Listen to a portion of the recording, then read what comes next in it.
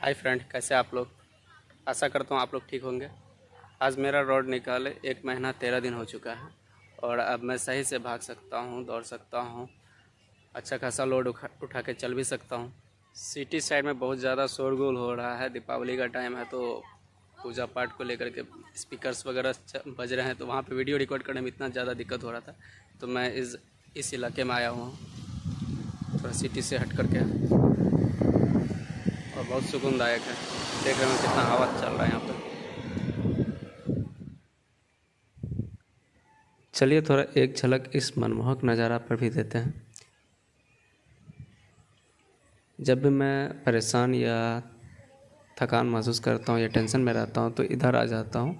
यहाँ पे बहुत ज़्यादा सुकून मिलता है, रिलैक्स फील करता हूँ, फिर घर जाता हूँ।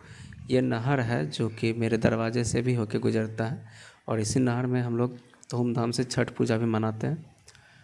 और ये रोड के दोनों साइड और नहर के भी दोनों साइड जो पेड़ पौधा लगा हुआ इसी तरह। और सामने वो खेत है।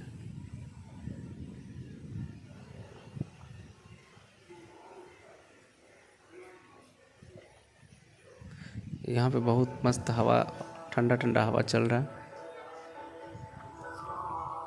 और ये उत्तर साइड है, यहाँ कभी कभार हिमालय पर्वत भी दिख जाता है। चलिए, आपको दौड़ने वाला वीडियो दिखा रहा हूँ और साइकिलिंग जो कर रहा हूँ, वो भी दिखा रहा हूँ। और अभी कोई तकलीफ़ है नहीं और पैर में जो घाव वगैरह है, वो भी कंप्लीट ठीक हो गया हल्का सा दाग रह चुका है, वो भी ठीक हो जाएगा। नी जो है, हल्का सा फुला हुआ, वो भी ठीक हो जाएगा, क्योंकि धीरे धीरे देख रहे हैं, ठीक ही हो रहा है। और पहले जो रड रड लगा हुआ जब दौड़ते थे तो उस टाइम में हल्का सा नी में चुभन होता था, जो अब नहीं होता है। अब बिल्कुल ठीक हो गया है। इम्प्लांट रिमूवल के पंद्रह दिन बाद से मैं साइकिलिंग स्टार्ट कर दिया था और साइकिलिंग कर, करने से मेरा पैर बहुत ज़्यादा फ्री हुआ और नी बेंडिंग में भी बहुत ज़्यादा हेल्प मिला। और इसलिए आप लोग भी साइकिलिंग ज़रूर कीजिए।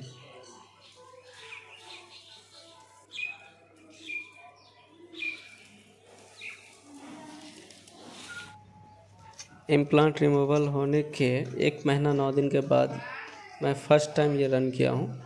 ये मेरा रनिंग फ़र्स्ट टाइम का रनिंग है, जो इस तरह से है। रन करते टाइम हल्का सा जो पैर उठता है जो फ्रैक्चर वाला पैर है, वो थोड़ा तिरछा होकर उठता है, लेकिन वो भी ठीक हो जाएगा। मेरा नी देखिए, जो सर्जरी वाला हल्का सा फुला हुआ है, जो अब ठीक हो गया है। और जो है ये पुराना चमड़ा ये निकल रहा है, ये नहाते वक्त भी निकलता है, इससे कोई घबराने वाली बात है नहीं। और घाव तो मेरा पूरी तरह से सूख चुका है।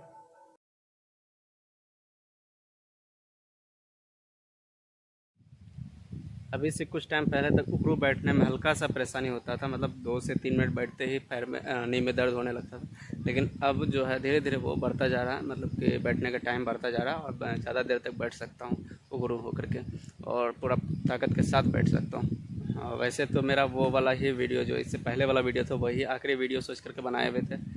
लेकिन आप लोग का इतना ज़्यादा कमेंट्स आया कि नेक्स्ट वीडियो कब डालोगे भाई? तो इसलिए मैं इस वीडियो को लाया। और इसमें मैं सब कुछ दिखा दे रहा हूँ कि मैं क्या मतलब दौड़ पा रहा हूँ तो मतलब कि सब कुछ कर पा रहा हूँ।